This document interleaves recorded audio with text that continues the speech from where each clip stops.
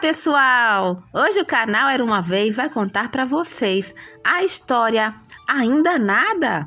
Mas antes, que tal dar um joinha no vídeo e se inscrever no canal?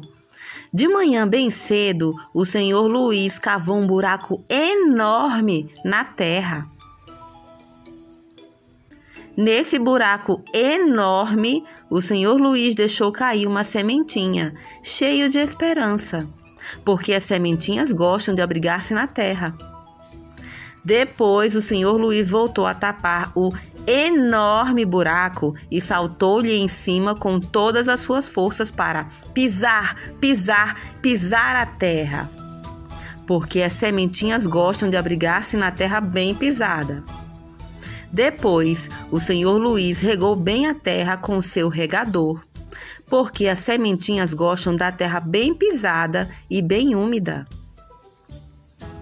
Finalmente, o senhor Luiz disse: Ficarei à sua espera, porque as sementes gostam de sentir que alguém as quer e aguarda por elas.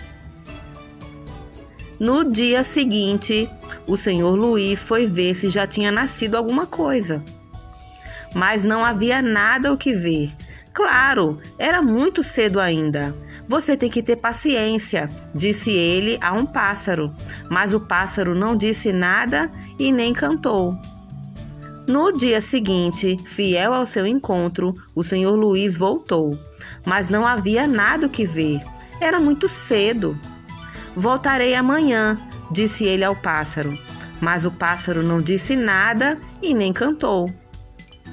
No dia seguinte, o senhor Luiz foi fiel à sua promessa, mas não havia nada o que ver.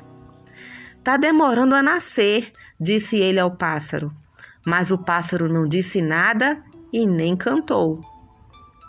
No dia seguinte, o senhor Luiz voltou outra vez, mas ainda não havia nenhum sinal da sementinha. Eu já estou cansado, disse ele, um pouco aborrecido, ao pássaro. Não vale a pena voltar amanhã. Mas o pássaro não disse nada e nem cantou. Que flor tão linda! disse o pássaro quando finalmente falou. Se eu oferecer ela para minha namorada, com certeza ela me dará um beijo. O pássaro estava apaixonado, é claro.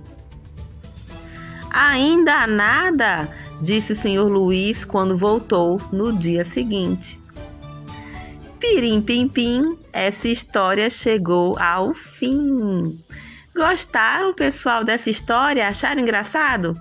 Um beijo bem grande para vocês e até a próxima.